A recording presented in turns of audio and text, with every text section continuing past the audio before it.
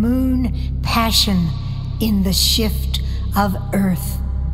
Under a super moon, drawing the waters of earth into water spouts and down pours, separating ice floes, floating towards the Arctic.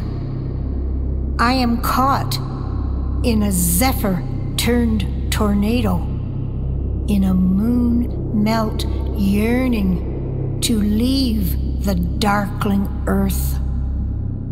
Find an orbit in star shattered glory.